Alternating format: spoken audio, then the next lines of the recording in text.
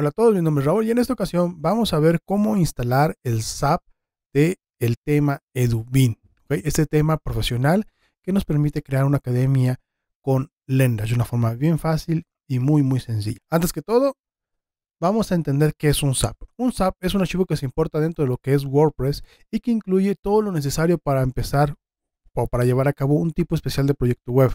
Me refiero a tema, plugins, configuración, contenido incluso, que te va a permitir llevar a cabo de forma rápida un determinado tipo de proyecto web. Por ejemplo, este SAP en lo particular es para poder crear una academia en línea o un sitio web de una escuela, una universidad que quiera vender sus cursos en línea utilizando Lendash y el tema Edubin.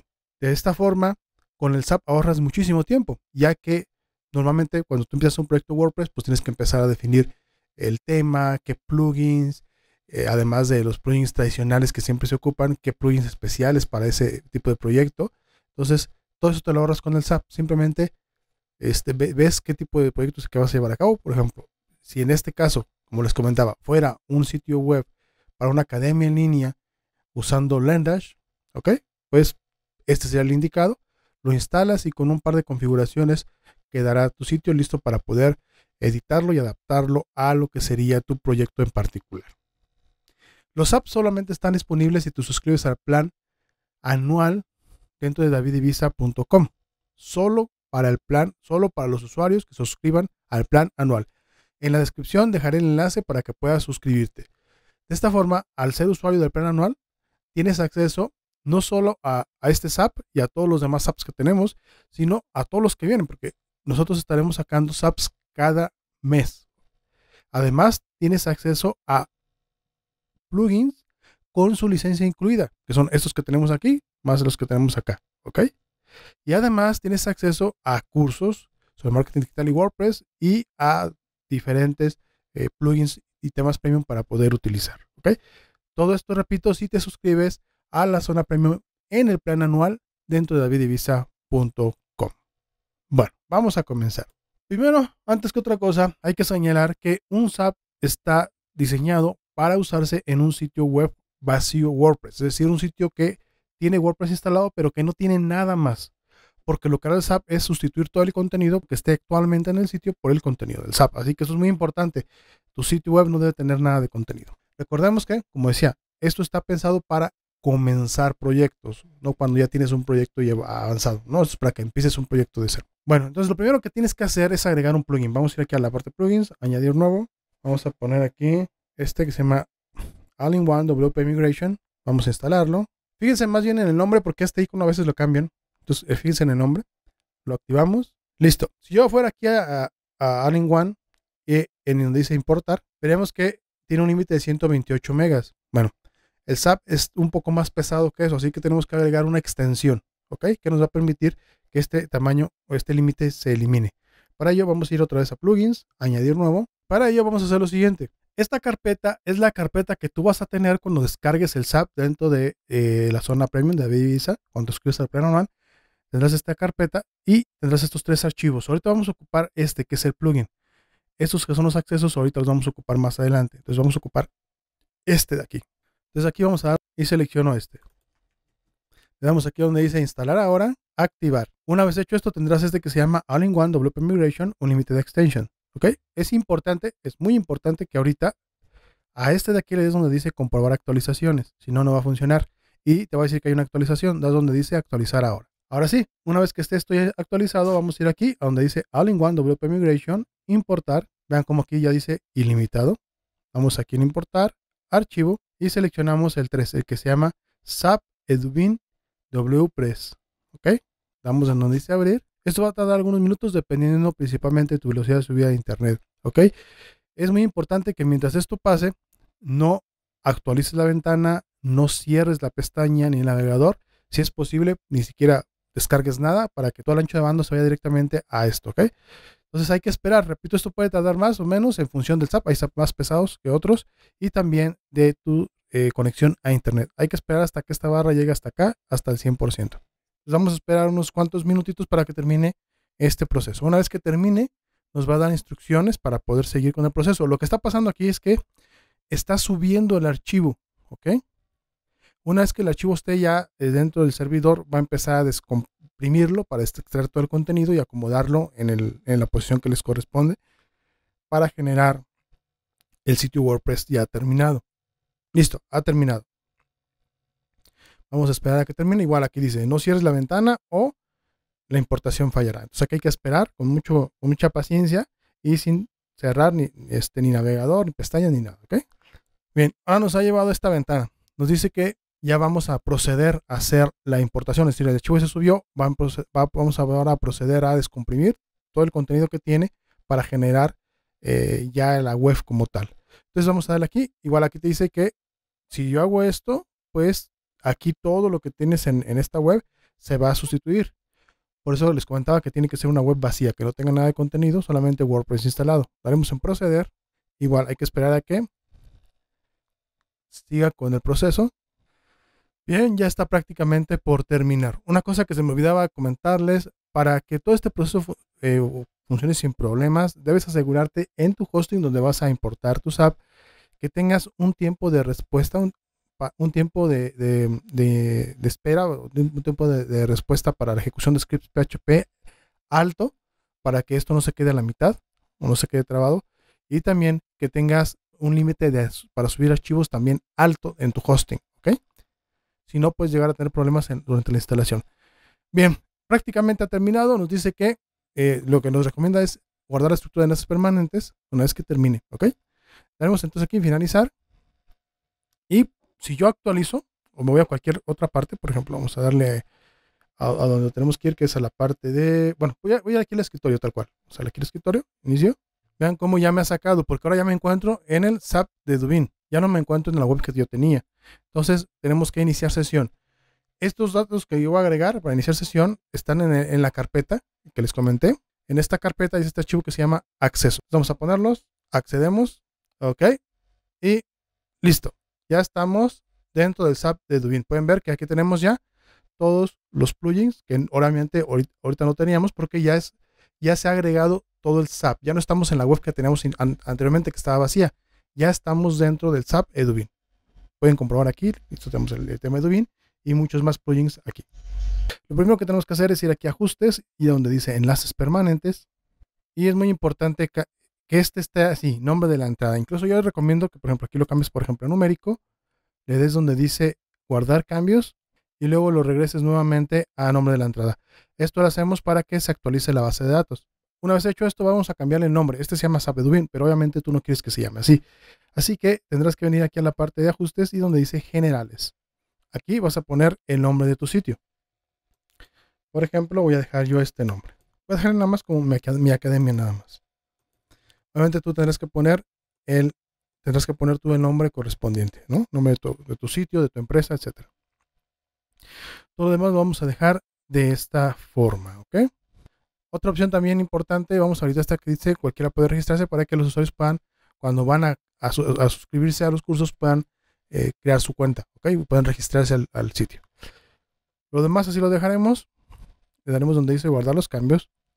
Veamos ahora qué vamos a poder hacer con este SAP. Voy a darle aquí y visitar el sitio.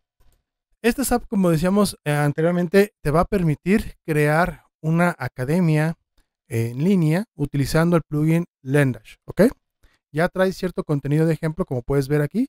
Y aquí te vas a dar una idea más o menos de cómo está estructurado. Pues ver, tenemos aquí esta será nuestra página de inicio. Okay, aquí puedes ver que tenemos pues los cursos, eventos, también se pueden manejar eventos dentro de este tema ah, y el blog. Y acá tenemos el resto de las opciones. Por ejemplo, tenemos para ver cursos, son los cursos que, vamos a estar manejando dentro de lo que sería este, nuestro sitio. ¿okay? Puedes ingresar un curso, por ejemplo. ¿okay? Y aquí puedes ver toda la descripción, materiales y las clases. ¿okay? Eh, aquí nosotros, pues tienes las, páginas de nosotros, por ejemplo, nosotros, precios y FAC. Tienes la página de profesores. Tienes la página de eventos, para ver los eventos. Puedes filtrarlos incluso. Tienes el blog. Tienes la tienda.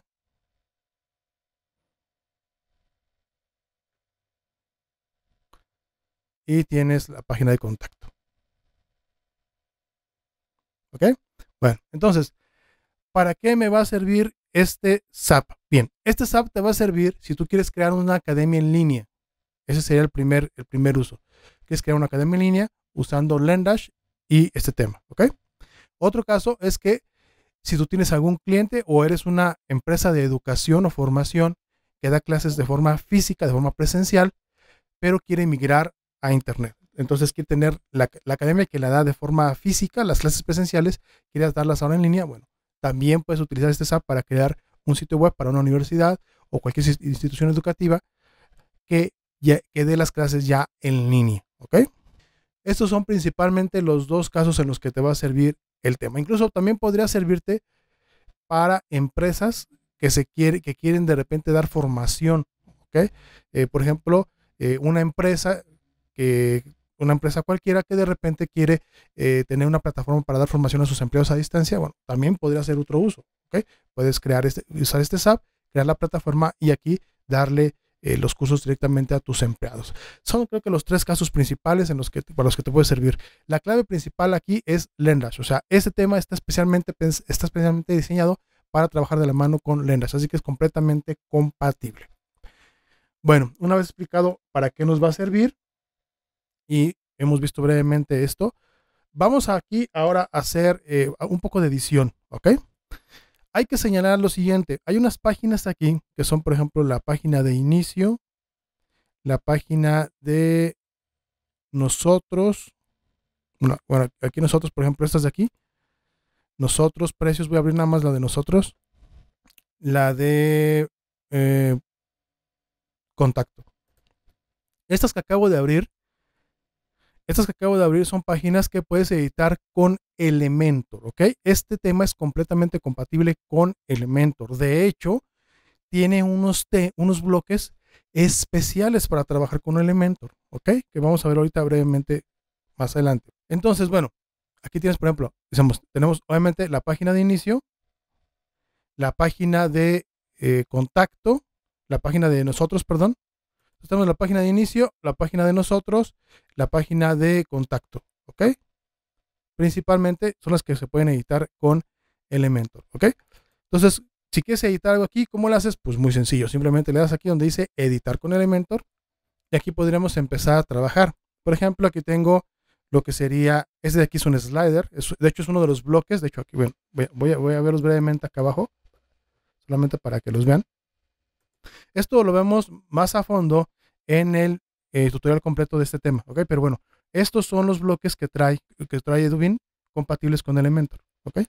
Como puedes ver, son compatibles con Lendash y algunas otras utilidades por ahí. Eh, son así de forma rápida para crear slider, para mostrar los cursos de Lendash, para eh, para buscar cursos dentro de, de este, para buscar la categoría de los cursos, para mostrar categoría de cursos, para mostrar cursos por instructor, para crear secciones, para mostrar profesores, mostrar los, eh, lo que son este, los eventos en forma de calendario o en forma de una lista, testimonios, para mostrar las entradas del blog, para mostrar productos de WooCommerce, para hacer una cuenta atrás, para crear un, un video pop-up. Pues este es un botón que al dar clic en un pop-up aparece el video, para hacer un carrusel de imágenes, para hacer un, título y para mostrar un formulario. Todo esto, repito, en el video completo de el tutorial completo de Dubin lo vemos más a fondo. Entonces, ¿cómo, ¿cómo, vamos a ver así de forma general cómo podemos hacer algunas ediciones? Porque decimos que la ventaja de este SAP es que una vez que lo instalas, pues ya simplemente tienes que empezar a editarlo. Entonces, ¿cómo lo harías? Por ejemplo, si trabajas en Elementor, estas páginas, todas estas páginas que trabajas aquí con Elementor, simplemente lo que harías será darle un clic. Por ejemplo, este es un slider y aquí están los slides. Por ejemplo, el primer slide es este. Entonces le damos clic encima y aquí puedes empezar a hacer cambios. Por ejemplo, puedes cambiar la imagen por una imagen que tú quieras. Si no quieres utilizar esa misma imagen. Para el slider la imagen tiene que ser un poquito grande. Por ejemplo, vamos a utilizar esta. Para que alcance a caber a lo ancho. Luego de esto, aquí están las opciones de la imagen. Aquí en contenido puedes cambiar el texto. Por ejemplo, aquí tienes el título. Dice Best University. Y una opción interesante es que dentro, aquí dentro puedes agregar etiquetas HTML. Por ejemplo, estamos indicando que esto de education se vea diferente. Por ejemplo, Vamos a ponerle tu mejor en educación. Por poner un ejemplo, ¿ok? O sea, lo que estoy haciendo nada más es personalizar el primer slide, el, text, el texto del primer slide. Aquí hay dos opciones. Eh, ahorita estoy en el título, puedes darle clic en este botón y cambias a la descripción, que es la que se encuentra acá abajito, miren, esta de aquí. O sea, aquí se la puedes, puedes cambiar, ¿ok? Para que cambie, cambie aquí y pues, tenga el, texto que tú quieras. Aquí nada más lo escribes y listo. También esto puedes hacer que aparezcan unos botones. Por ejemplo, el botón de la izquierda, puedes decirle que lo quieres. Y aquí pones qué texto quieres que tenga y el enlace. Ahí está. Puedes darle clic acá. El botón de la derecha, puedes decirle que si lo quieres, porque por ejemplo está oculto. Le pones eh, qué texto quieres que tenga y a dónde quieres que te dirija. ¿Ok? Igual, si hay algo que no quieras, pues lo desactivas y listo. Y aquí en, las, opciones globales pues vas a encontrar las opciones para poder gestionar aquí, por ejemplo, la velocidad, las flechitas estas que aparecen para poder navegar, esas aquí, y demás opciones. Por ejemplo, que se pause cuando paso el cursor, entre otras opciones. Okay, todo esto, repito, esto lo vemos un poquito más a fondo en el tutorial correspondiente de Edubin. Lo que quiero que vean es que, pues sí pueden hacer cambios. Por ejemplo, aquí vamos a ver, ya vimos, por ejemplo, cómo cambiar un texto. Por ejemplo, ¿quieres que otro, otro texto? Por ejemplo, eh, vamos a poner aquí, no sé, por ejemplo, los mejores cursos, por ejemplo. Clic, los mejores cursos, ya está. ¿Okay? Ya está, ya está formateado, porque ya está todo hecho adecuado, adecuado para que quede bien. Pero si tú quieres personalizarlo, acá le puedes en el estilo, puedes cambiar color de texto, tipografía, suma de texto, etcétera. ¿okay? Eso es para los textos. Todos los textos funcionan igual. Y por ejemplo, para el botón, puedo darle clic en el botón y también va a ser muy parecido. Pones el título o el texto que quieres que tenga el enlace a dónde quieres que te lleve, la alineación del botón, izquierda, derecha, centro, etcétera, el tamaño y listo. Luego acá, por ejemplo, también para las imágenes funciona igual. Das un clic en el módulo, puedes cambiar una imagen por otra. Por ejemplo, vamos a darle clic encima y vamos a cambiar tal vez por esta. Vamos en insertar y puedes ver que efectivamente cambia. ¿ok? Si quieres cambiar por una diferente, que cargues de tu equipo, le das en subir archivos y aquí le das en seleccionar y la selección. Entonces, bueno, este proceso que estoy haciendo es pues, para, para todo. Por ejemplo, aquí tenemos para los últimos cursos. Bueno, puedo dar un clic aquí. Este es uno de los bloques que les comentaba. Este es el, eh, para mostrar los cursos de Landash. Igual, pues una de las opciones que me gusta mucho que tiene el, el, tema de Udemy es que suele tener estilos predeterminados. Por ejemplo, este es el estilo 4. Puedes darle estilo 1, por ejemplo, y va a cambiar. Puedes establecer lo, cuántos, cuántos cursos van a pasar por columna y en total cuántos quieres que aparezcan. O puedes seleccionar por categoría para indicar qué cursos quieres que aparezcan también por categoría, ¿ok? ¿Cómo se van a ordenar? si quieres que esto sea un carrusel, o sea, que esté, por ejemplo, que pueda darle aquí para ver más, aquí lo habilitas, estableces el estilo del carrusel, especialmente de las flechitas estas, selecciona los iconos de las flechas, y el resto son las opciones que vimos arriba, así de forma muy general. Repito, esto más a fondo lo vas a ver en el tutorial completo. De hecho, aquí una opción interesante es, por ejemplo, aquí puedes establecer este, este carrusel, cuánto se va a ver en tablet, cuántos van a ver en móvil para que ajustes la versión responsiva de todo esto. Y en meta puedes establecer qué información meta se muestra.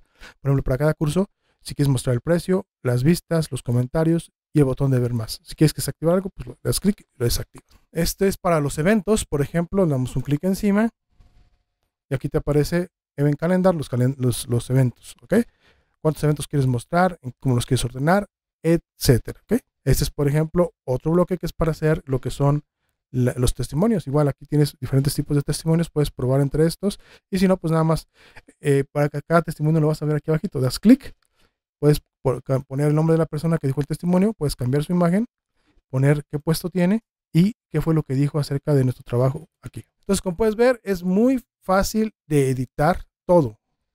Cualquier cosa, incluso, por ejemplo, los fondos. Ya vimos cómo editar un texto, cómo editar un botón, cómo cambiar una imagen. ¿Cómo cambio un fondo? Bueno, pues das clic, por ejemplo, esta es una sección, doy un clic y aquí le vas, te vas a estilo y aquí tienes la opción de tipo de fondo, puedes cambiar la imagen aquí por una imagen diferente que tú desees.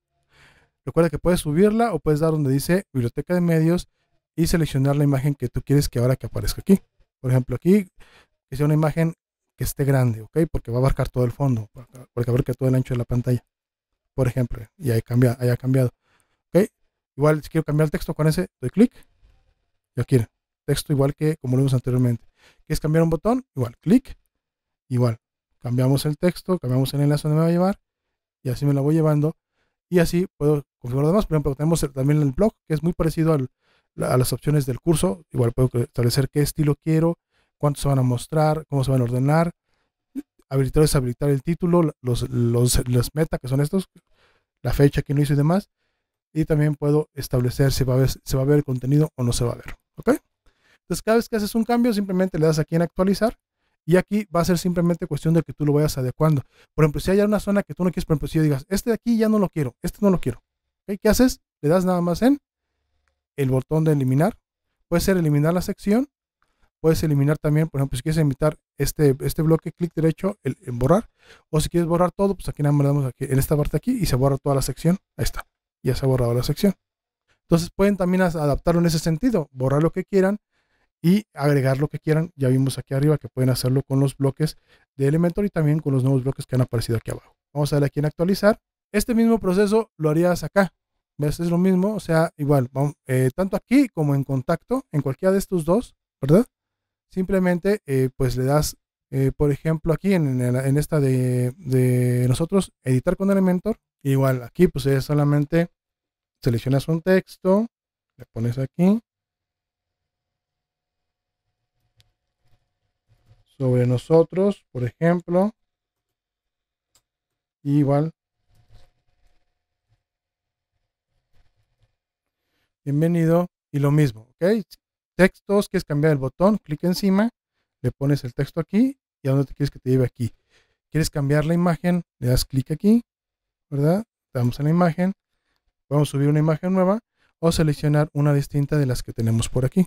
Solamente un detalle que tienes que tener en cuenta, si vas a sustituir imágenes, de preferencia, fíjate, que tengan más o menos el mismo tamaño. Por ejemplo, esta tiene 1270, busca una, por ejemplo, esta de 1800 podría ser, pero esta ya tiene 370, está muy pequeña, entonces vamos a, vamos a poner esta. Y si tienen más o menos el mismo tamaño, van a encajar bien. Igual aquí lo mismo, ¿no? Este es un texto, otro texto, otro texto, lo van, lo vas manejando de esta forma. Este, por ejemplo, es el bloque de profesores. Entonces, si tú das clic encima, es el bloque de los profesores. este, de arriba es el de los títulos, por ejemplo, que le podrías poner nuestros docentes o nuestros profesores. Y acá abajo, este es el de los profesores, tal cual. Clic encima, aquí están todos los profesores. Cada profesor puedes poner la imagen, el texto, el puesto y sus redes sociales. Cuando termines de hacer todo, igual, actualizar y listo. Y lo mismo acá, por ejemplo, vendrás aquí editar con Elementor. Igual aquí, por ejemplo, tenemos, aquí es un texto, aquí es otro texto, aquí son más textos, por ejemplo. Ah, perdón, bueno, estas son y, iconos, perdón. Aquí nada más das un clic encima y aquí tienes, por ejemplo, la dirección. Aquí pones la dirección. Este es el icono de dirección. Puedes cambiarlo por otro si quieres, desde aquí. Y lo mismo haríamos con el correo, teléfono y este de aquí. Y este de acá es el para meter el mapa. Damos clic encima y aquí pones nada más la ubicación que quieres que te aparezca en el mapa ya te va a aparecer acá. Finalmente, esto de aquí es para meter un formulario. Esto lo vemos en el video de configuración completa de Udemy, pero aquí nada más seleccionas el formulario de WP Forms y ya está aparece aquí. Entonces, pues básicamente esto es lo que harías con Elementor. ¿okay? Nada más vas editando, pues ver, es muy sencillo, das clic encima, empieza a editar acá y listo. Vamos a darle en cerrar, vamos a darle aquí en cerrar. Ahora, hay unas opciones como por ejemplo la opción de los cursos, la opción de los eventos, la opción del blog y la opción de la tienda estas, estas opciones de aquí no se pueden ver, no, está, no se pueden editar con Elementor. Estas se editan directamente desde el tema. Así que tendrían que venir, por ejemplo, a el tema, ir a donde dice EduBean y donde dice Theme Options. Cada sección de estas, por ejemplo, cursos, aquí van a encontrar luego, luego LearnDash y siempre van a encontrar la página de archivo, es decir, donde están todos, y la página de single, donde nada más se ve uno. por ejemplo, aquí en la página de, de Archive sería esta, donde están todos los cursos. Entonces aquí puedes configurar, por ejemplo, qué estilo se va a aplicar a los cursos.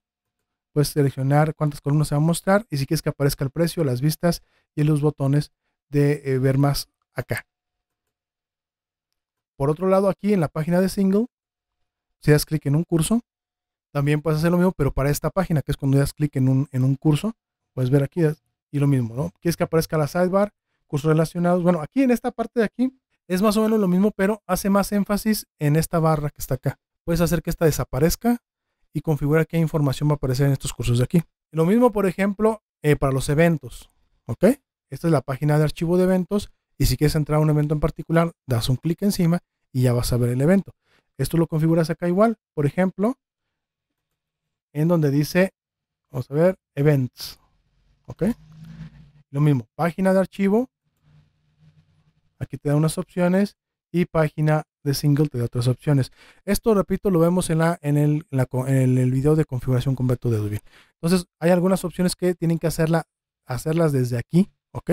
Y no este, desde acá. De hecho, desde aquí también, por ejemplo, en general, puedes cambiar aquí el logotipo de tu empresa para que se sustituya por este de Debian. Nada más aquí en cambiar logo y agregas tu nuevo logotipo, ya sea que lo subas de aquí o lo cargues directamente desde acá. ¿Ok? Entonces aquí es lo que vas a poder hacer con la configuración de tema. Aquí es configurar, literalmente todo el tema lo configuras de aquí. Todo lo que está aquí se configura.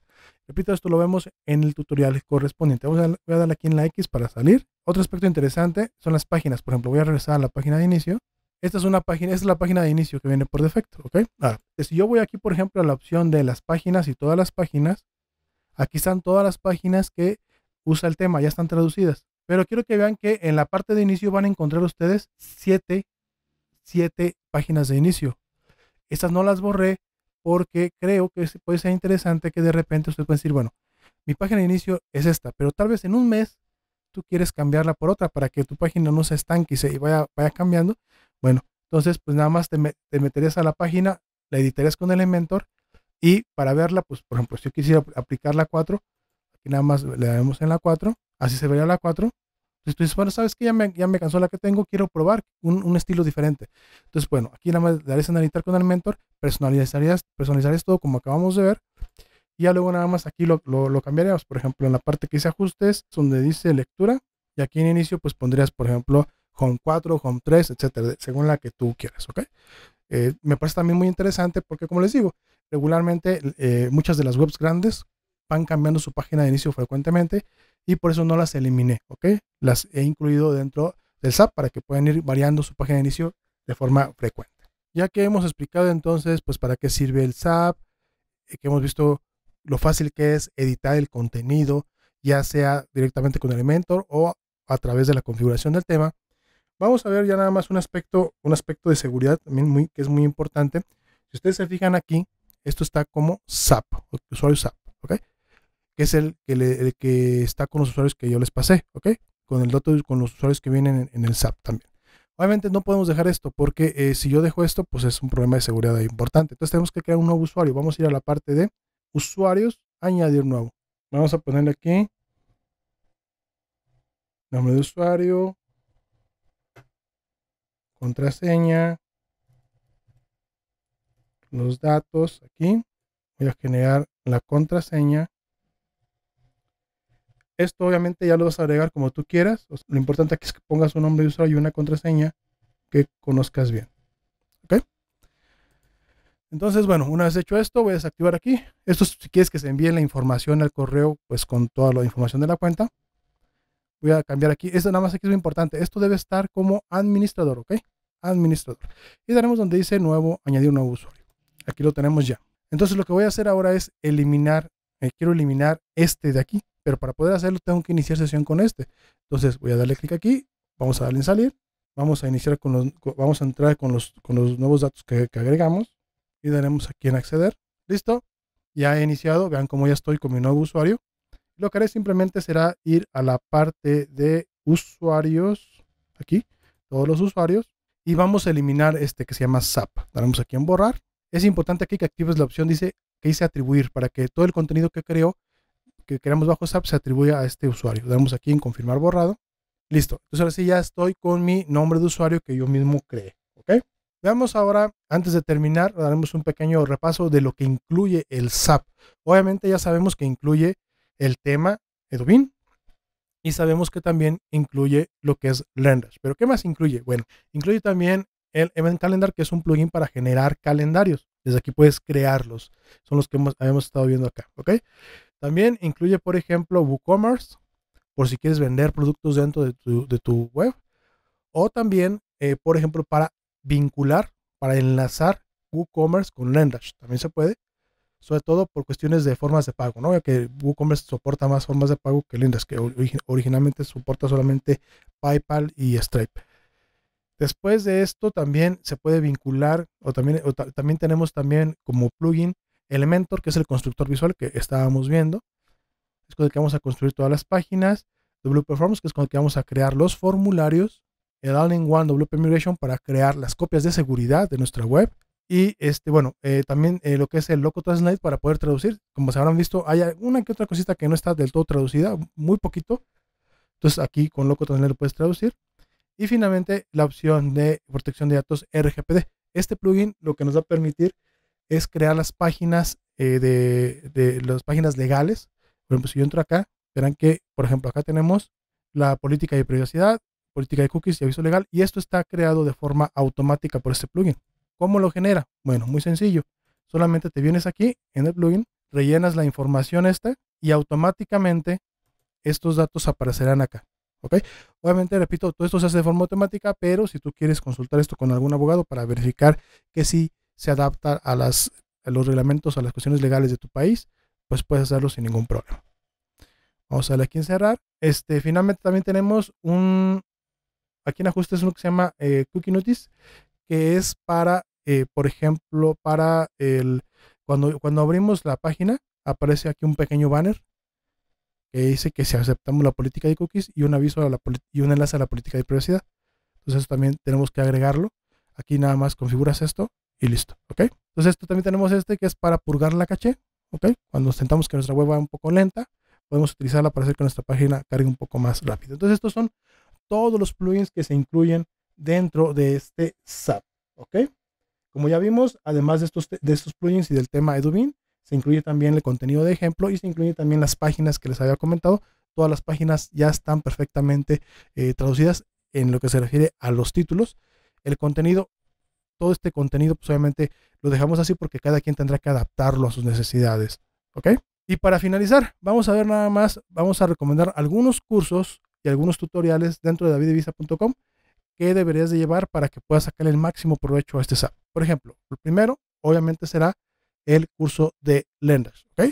Si no sabes usar a un Lenders, tenemos el curso completo dentro de David curso completo de Lenders, donde vemos cómo usarlo y cómo vincularlo con Divi. Eh, también tenemos el curso, un curso en la zona premium que se llama Trucos de Lenders, donde vemos cada mes un par de clases nuevas. Se van a hacer, van agregando nuevas clases al curso acerca de plugins, extensiones y cómo sacar el máximo provecho al Lendash. Eh, también tenemos el tutorial completo de Dubin, donde se ve toda la configuración mucho más a fondo. Tenemos el tutorial de eh, lo que sería también el Event Calendar. Y, si no, y también tenemos, bueno, dentro del tutorial completo de Dubin, vemos un poco cómo funciona el, el Event Calendar. Tenemos el curso completo de WooCommerce, es que tú no lo manejas. Y dentro del curso de trucos de Lendash tenemos una clase que nos permite enlazar WooCommerce con Lendash, como les comentaba.